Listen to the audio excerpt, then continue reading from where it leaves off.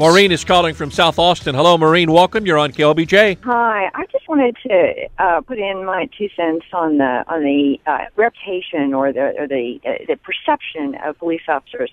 Um, I, I would not want to second guess a police officer in, in any deadly force situation. I really would not. But they have a reputation for hassling teenagers for good reason. I'm 63 years old and I grew up in St. Louis, and I can tell you that they have me in suburban St. Louis when I was driving. They pull me over, check my registration, check my insurance, check my license for no reason other than I was a teenager driving a car. Morning, Dave. Good morning. I just want to let uh, Sergeant Sam know it's not all Pete Dream like he says. I live in a small community, and uh, it seven years get police department out. I got eight tickets in one day. Went to the courthouse. They were all dropped because they were frivolous. And what they were doing is they're collecting the twenty-five dollars a ticket court cost, even if you don't go to court. And that's how they were raking money. The way the city took care of it, they cut the police department in half, and now they don't harass nobody anymore. Well, you know, I know a lot of small departments. They, you know, they have speed traps. They have a lot of situations, but you know, normally they don't mess with the people that live within the community. They catch four saps driving Out of through, towners. driving through the community. Were those alleged traffic violations, Dave? One two mile an hour over the speed limit. What? What? Uh, you said you got eight. Were were all eight? in one day. Were they all traffic violations allegedly? Yes, all one two mile an hour over speed limit. I'm a delivery driver.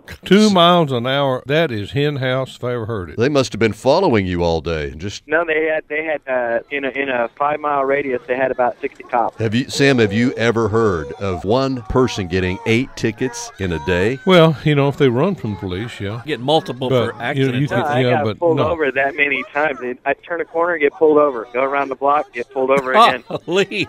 Were they in I was a, like, in a this is competition? ridiculous. yeah, that's what it seemed like. Competition and a judge. I finally went to the judge. The judge told leave people alone, but they were writing all up. So that was uh, was that here in Central Texas? That was in the hill country. What town? And they finally, I ain't gonna say. You can think I'm gonna hang myself.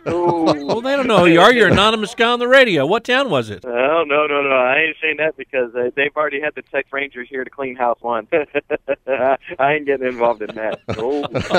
all right, Dave. Thank you, Wow. sir. Yes, it. How's it going, guys? Good. Um, yeah, no, this isn't really a Texas police story, but when I was living up in Chicago, I was in two different suburbs, and the cops every year would have the thing where they would go onto people's private property, including in their garages and everything, looking for parking stickers, you know, like city parking stickers. And they would actually like do a big thing where 50 cops hit a whole neighborhood at three in the morning and break into people's garages, putting stickers on their cars. Well, that sounds dumb. It was ridiculous, and it was two separate suburbs. I moved to a different suburb, and when I got there, they were doing the same exact thing. We had like a community action meeting about it and everything, and they were just like, "Well, the city sticker is government property, so we have a legal right to go onto your private property to put, you know, to give you a ticket for not having." it." Yeah, you gotta send that picture to me, dude. Send that picture. Send that picture.